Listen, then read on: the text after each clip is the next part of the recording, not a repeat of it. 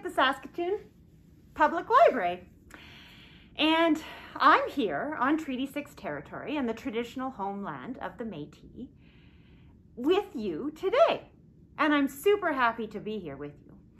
And I thought we'll share a story together. But first, we should sing a song together because you know you're friends with someone when you can sing a song together. So, goes like this. It's called the Hello Song. Are you ready? It goes like this. Friends. Hello, friends. Hello, friends. It's time to say hello. Thank you. That was fun.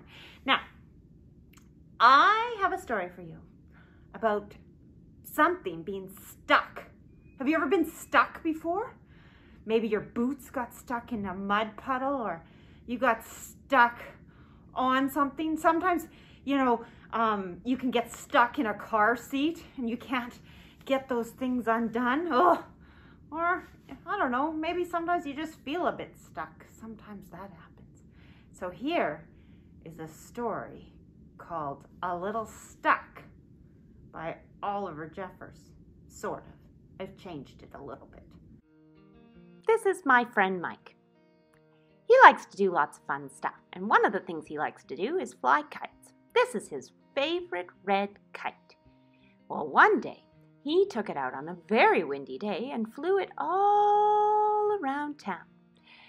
But then he flew it by a tree and it got stuck. So he threw a shoe in the tree to knock it loose and it got stuck. Then he got a cat and threw that up in the tree. But you know what? It got stuck. Then he got a ladder. Yep, a ladder. And he threw that up in the tree and it got stuck. Then he got a paint can and he threw that up in the tree and it got, you guessed it, stuck. Then he got a duck and threw that into the tree and it got stuck. And so he got a chair and he threw that up into the tree. But you know what? It got stuck. Then he had to think about it. He decided he would try something a little bit different. So he got his own bicycle and threw that up in the tree. But you know what? It got stuck. Then he decided to get a sink and he threw that up in the tree. But you know what? It also got stuck. so he had to think a little bit bigger and he decided to throw a car up in the tree. But you know what? It got stuck. Then he got an orangutan. Yep. And it got stuck. That's right. Then he got a rhinoceros and it got stuck. And he got a, a truck and it got stuck. Then he got a ship and it got stuck. And he even tried a house and it got stuck. So he had to think a little bit more. So he got a whale and threw that up in the tree and it got stuck. Then he even got the whole fire brigade and threw that up in the tree and it got stuck. But then he had an idea. So he got a saw and he threw that up in the tree. But you know what?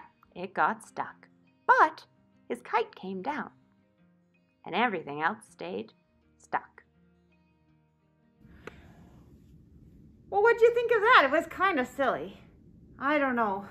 Mike got his, what do you think's going to happen with all those things stuck up in that tree?